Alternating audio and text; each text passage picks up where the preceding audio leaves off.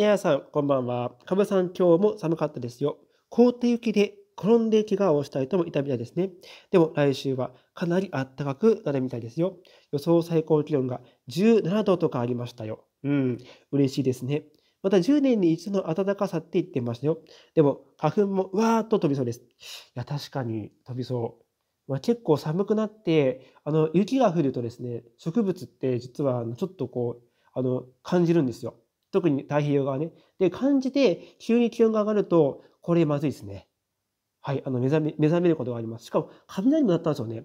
まあ、これ、啓蟄って言って、あの目覚めますね。はい。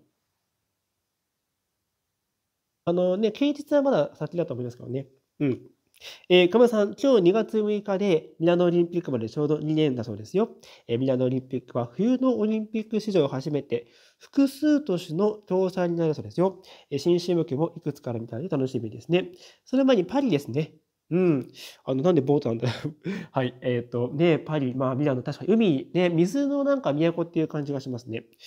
うん、楽しみだけど、行こうかな。どうしようかな。ちょっと気になりますね。まあ、夏にまたパリ行こうかなと思うんですけどね。まあ、とりあえず、まあ、そんな感じでね、複数都市の共催になるということなんでね。でパリからミラノへってなんか、うん、不思議だ。うん。アイリューさん、どうもです。アメリカ人は映画なので、おしゃれなレディーがバスタブ入ってるイメージがあります。確かに。あの、バラの花びらですよね。あの、アナ雪の映画で雪山でサウナの場面があったんでびっくりしましたが、サウナは北欧から来た伝統なんですね。寒いからわかる気がします。あ確か北欧とかって温泉とかあった気がしますね。確かね。アイスランドだとかななんかね、ね、ありましたよね。北欧は意外と入ってるのかなうん。あの、雪の女王ってね、いうのがね、ハンス・クリサンデーセンがデンマークにいるんですよ。あの人が書いた、あの、中でバラのお風呂があった気がするんですかね。うん。デンマークはお風呂入ってんのかな、結構ね。うん。でもなんか、あの、日本のお風呂って、ね、あの、なんか、なんかこうなって、なんか、こう、ね、これこう洗うとかあって、こうなってますけど、で、こう湯船なんかね。だけど、あの、欧州とかのなんか、ロマンチックなお風呂って、広い部屋の中に、なんかこういう、なんていうのかな、なんかわかりますか？こうなって、なんかこう、こんな感じの ね、入ってますね。で、バラのなんか、こうやってたりしてね、なってますよね。うん。はい。そういうイメージがあるんで、まあ、そういった意味では、まあ、欧州とかも結構あるのかな。うん。で、なんかロマンチックな感じなのかな。うん。うまこさん、どうもです。カブキンお疲れ様です。今日は2月6日お風呂の日、お風呂で溺れかけたことを引きこもりで息子に話しました。えー、それはいけないと言ってくれたんで、えー、これからお風呂に入るときは息子に声をかけすることになりました。うん。ほとんどお互いに別々の生活なんで、お風呂もそれぞれ違う場所にあると。あ、そう、えー、そうなんですね。え、もしも、え、夜中に、え、怪我をしたり、たとえ死んでいてもわかりません。うん。えー、なので、うま子は何があっても気づいてもらえない。帰宅にようちゃんが急に止めてくれて嬉しいと。ありがとうね。冷凍庫に、あれ、冷蔵庫に、え頭ぶつけても、旦那さんに笑われても、うふ、痛かったわね。うん。えマイクブさんも、え自宅で、え怪我をなさって大変でしたね。お願い申し上げます。お元気になってくださいませ。うん。かぶくん毎日ありがとう。感謝してますよ。またね、と。はい、いうことですね。うん。はい。あの、でもあれか。うん。家とかによってはお風呂が2つあるのかな。まあ、それとも違う、離れ、違うところに建物あるんですかね。いろいろお家の構図があれですけどね。はい。ということで、皆さん気をつけてください。あの、お風呂場。うん。でも、お風呂の日の前の日にね、溺れることないですよ。うん。溺れるっていうかね、その心配ですからね。うん。あと、日本人ってお、お、あのね、朝風呂って少ないですね、まあね。うん。あの、欧州はね、逆にね、あの、ベルギーなんかもあんまりね、夜に入るって少ないですよ。うん。シャワー浴びるっていうのは。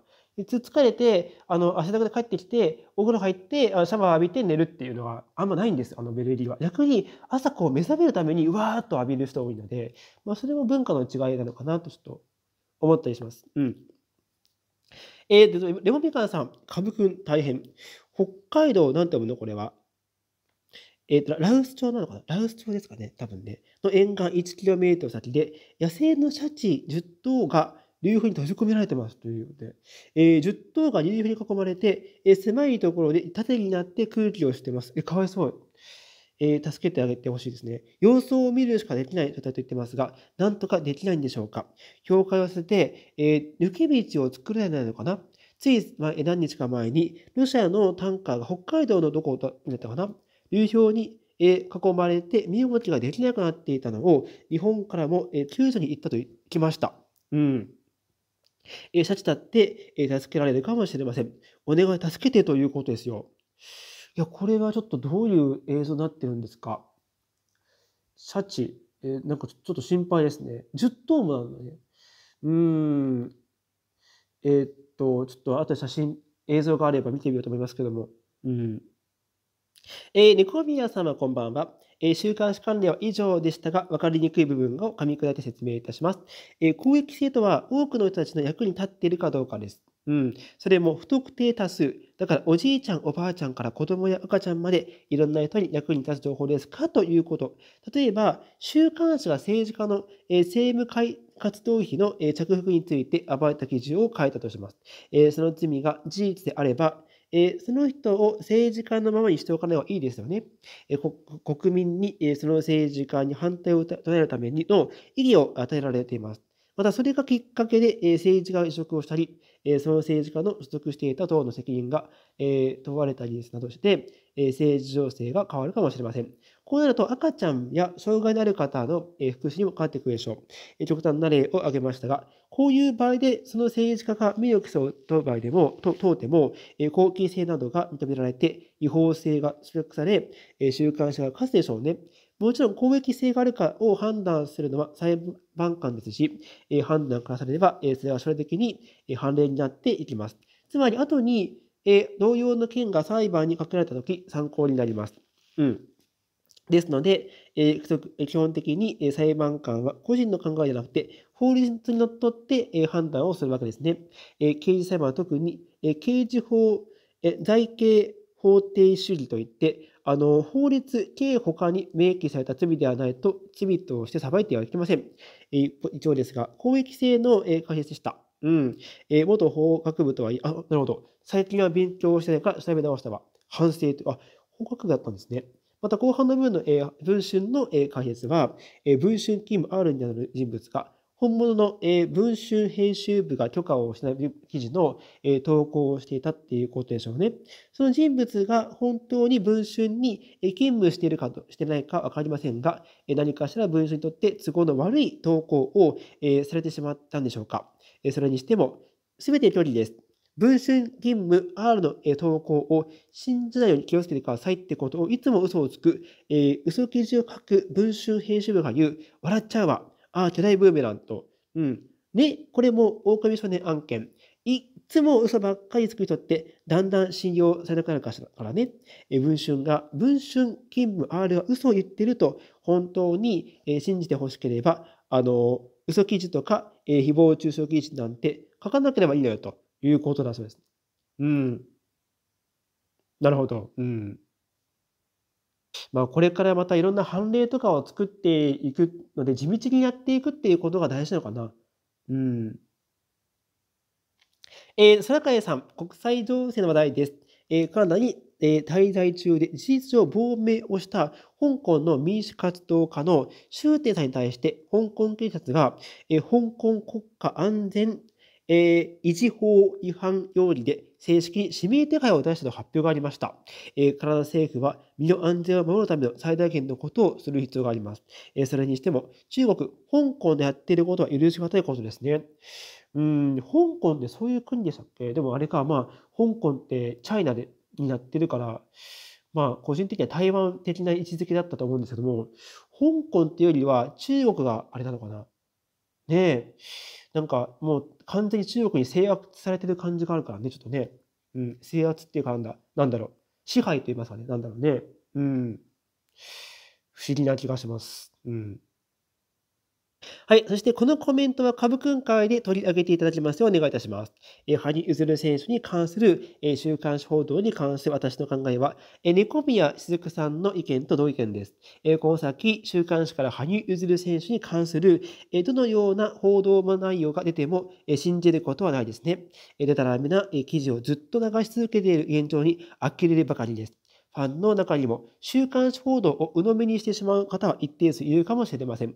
火のないところに煙が立たるという言葉はあくまでもその報道内容が事実であるときに言える話であり、今回はこの件に当てはまりません。え都合のいい言葉でデタラメ報道をえ正当化するのはやめてほしいですね、ということですね。うん。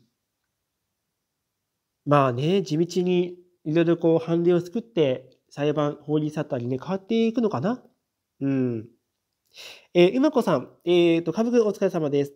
ミス日本は昔から日本人の女性で、容姿もたしなみも日本人だし美人がなると思ってましたが、今回、ミス日本に選ばれたウクライナ女性は、日本人の血が一滴も入っていなくて、なおかつ審査員の誰かと不倫関係だったり、え？そういう系？そっち系か。それ怪しいな。ねえ。うん。不倫関係だったんですね。あの、ちょっと目覚めた、あの、なんかすぐトーンが下がっちゃいましたね。連れてきて。それが後で発覚して、え問題になったようです。うん。本人は、えー、はじ隠していたとかで、今は認めているそうです。それ自体をしたそうです。うん。ミス日本なんですから、せめて一滴でも日本人の血が流れていってほしいですね。